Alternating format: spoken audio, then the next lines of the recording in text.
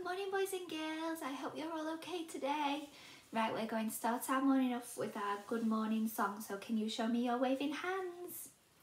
Good morning, good morning, good morning to you. Good morning dear friends and how do you do?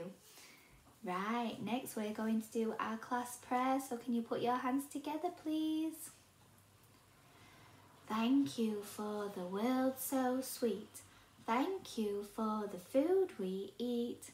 Thank you for the birds that sing. Thank you, God, for everything. Amen. Right, yesterday it was Sunday. Sunday. What day is it today, boys and girls?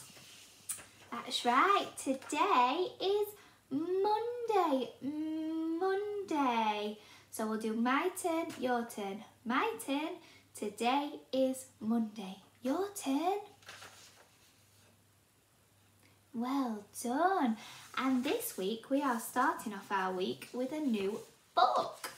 And this book is called Topsy and Tim Go to the Dentist. Do you know what a dentist does? That's right, a dentist looks at your teeth. So we're going to read this story, so all you need are your looking eyes and your listening ears. Okay.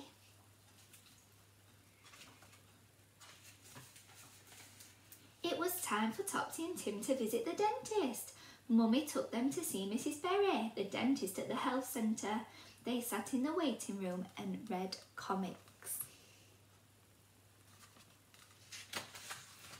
The dentist's door opened and out came Josie Miller and her mummy. Josie smiled at Topsy and Tim. I've got to wear a brace on my teeth, she said. Why? asked Topsy. To make my teeth grow straight, said Josie. Mrs Berry is ready to see you now, Topsy and Tim, said the nurse. There they are in the waiting room. Hello, twins, said Mrs Berry. Your surgery smells funny, said Topsy. It's a nice clean smell, said Mummy. Who wants to go first? said Mrs Berry. Me, said Tim. He climbed into the dentist's chair. Mrs Berry clicked a button and the chair tilted back. Tim felt like a rocket pilot. Mrs Berry put on a disposable mask over her nose and mouth. What's that for? asked Tim. So that I don't breathe over you, said Mrs Berry.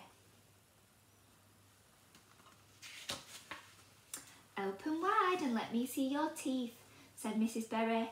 Tim opened his mouth as wide as he could.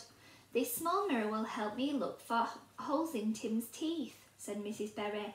Little holes can turn into big holes and big holes can turn into toothache. There were no little holes in Tim's teeth. Your turn now, Topsy, said Mrs Berry. She found a little hole in one of Topsy's teeth. I'll clean that hole and put a filling in it, said Mrs Berry. It will stop food pieces getting in and turning nasty. First, Mrs Berry hung a sucking tube in Topsy's mouth. That's to stop you dribbling, she said. The tube made funny sucking noises. Then she used her whizzy drill to clean out the hole in Topsy's tooth. The nurse gave Topsy a glass of pink water to rinse her mouth. Then Mrs Berry dried the hole with a little air blower so that the filling would stick tight inside. The nurse mixed a tiny bit of silver filling. Tim watched her. That's Topsy's filling, she said. Mrs Berry pushed the silver filling into the hole in Topsy's tooth. She pressed it, pressed it down and made it perfectly smooth. There, good as new, said Mrs Berry. Did it hurt? asked Tim. The drill was noisy, said Topsy, but it didn't hurt. You've both got good teeth, said Mrs Berry. Keep them that way, eat lots of different foods, but remember, sweet foods can hurt your teeth, so don't eat them too often. Never forget to clean your teeth in the morning and at bedtime, and don't eat or drink in bed. Not even water, said Tim. Only water. Said Mrs Berry. Sweet drinks can hurt your teeth as much as sweet food. Mrs Berry gave Topsy and Tim a badge each to remember them to look after their teeth. Come back and see me soon, she said. Before they went home, the receptionist wrote down the date of their next visit. A little boy came into the waiting room with his mummy. He was trying not to cry. It's Tony Welch, said Topsy. What's the matter, Tony? asked Tim. I've got toothache, sniffed Tony. He eats too many sweets, said Tony's mum. Never mind, said Topsy. Mrs Berry will make it better. On the way home, they passed a sweet shop. I would like some sweets, said Topsy, but I don't want toothache like Tony. There are other nice things that are better for you, said Mummy. She bought them lovely crunchy apples from the greengrocer. Then they went to the chemist to buy new toothbrushes. The chemist told them about disclosing tablets. Just chew half a tablet, then rinse your mouth with water, he explained. The parts of your teeth that most need cleaning will turn pink. We'd look funny going to school with pink teeth, said Tim. The chemist laughed. You clean away the pink bits with your new toothbrushes, he said. When there is no pink left, you know your teeth are clean. As soon as they got home, Topsy and Tim tried out their new toothbrushes. Mrs Berry won't be finding any holes in our teeth next time, said Topsy and Tim. The end. Well done for good listening, boys and girls. So this week we are going to be talking about the importance of brushing your teeth. So do you know when you should brush your teeth? You should brush them in the morning and at night time.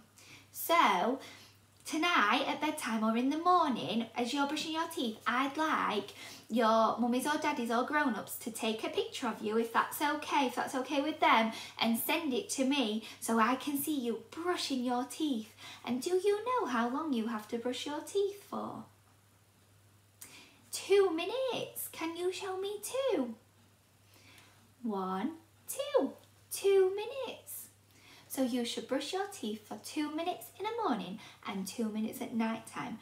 And should you go to bed and eat food and drink fizzy drinks? No, once you brush your teeth, you can only drink water after at bedtime or else the sweet stuff that you eat and drink can harm your teeth. Good listening, boys and girls. Right, I will see you at 11 o'clock for some phonics. Bye.